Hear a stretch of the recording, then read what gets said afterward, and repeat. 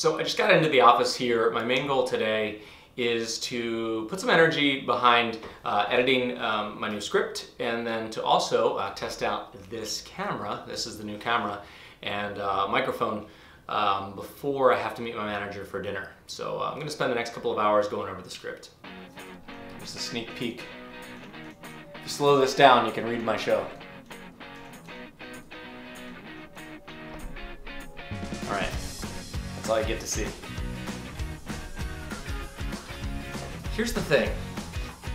I just read this entire script, and it's like 90% of the way there. The show is there, um, but the words aren't.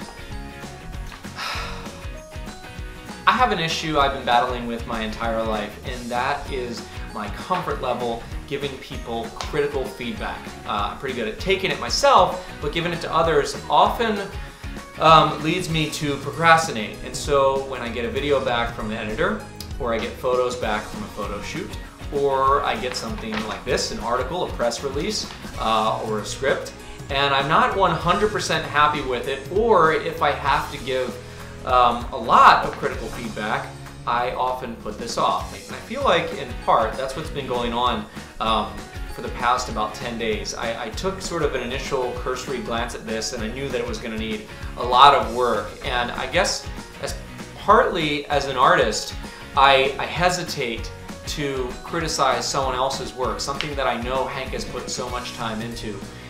And you know, ultimately we have the same goal to create something um, beautiful. But the other thing is that I think the quality that's derived from my previous method, which is to improvise and then script, is that it becomes a very conversational tone. And that, I think, is the redeeming quality of my of my la lack of script in the past. And so while I don't want to not script this show, I think what I'm trying to say is what we're going for is more of a conversational tone.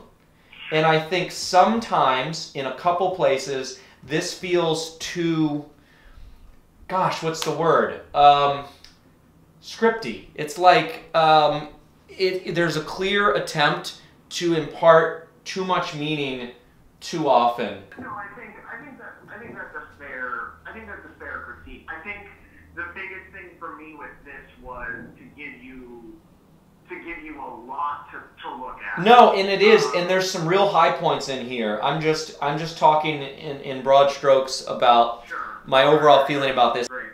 Well, it feels really great to have a script in hand and it, for it to be so close to what the show is going to look like on August 1st. It's um, it's just uh, us getting on the same page and we're like we're like almost there.